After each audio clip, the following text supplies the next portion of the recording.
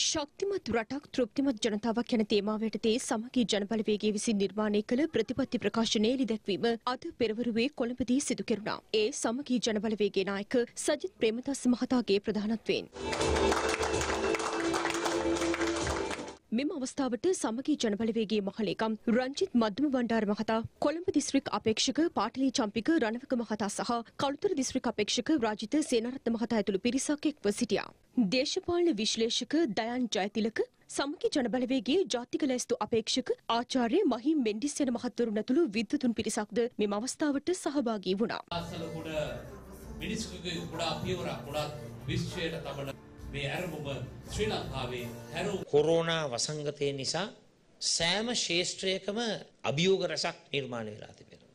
අපිට සිද්ධ වෙලා තිබෙනවා මේ නිර්මාණය වුණු අලුත් අභියෝගවලට. නිර්මාණශීලීව අපේ ප්‍රතිපත්තින් සකස් කරලා. ප්‍රශ්නවලට විසඳුම් ලබාදීම. කෝවිද් දහනමය අපේ රටේ ජාතික ආරක්ෂාවට එල්ල වුණු බරපතලම මරු පහරක්. සහ දැවන්ත අභියෝගයක් හැටියට. සමහරෙක් ජාතික ආරක්ෂාවේ කියන මාතෘකාව ඉතාමත්ම පටුආකාරයට බොළඳ ආකාරයට මිලිටරි ආරක්ෂාවට පමණක් සීමා කරන්න උත්සාහ කරන.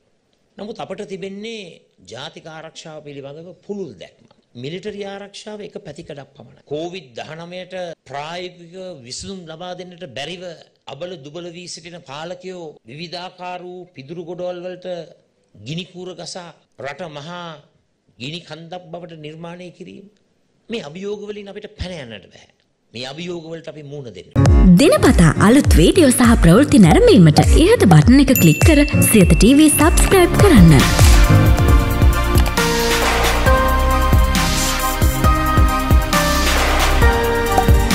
අලුත් වීඩියෝ ගැන මුලින්ම දැනගන්න මෙම සීනුව ක්ලික් කරන්න.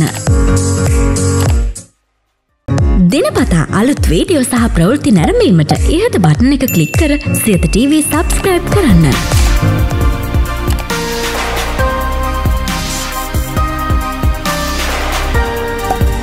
අලුත් වීඩියෝ ගැන මුලින්ම දැනගන්න මෙම සීනුව ක්ලික් කරන්න.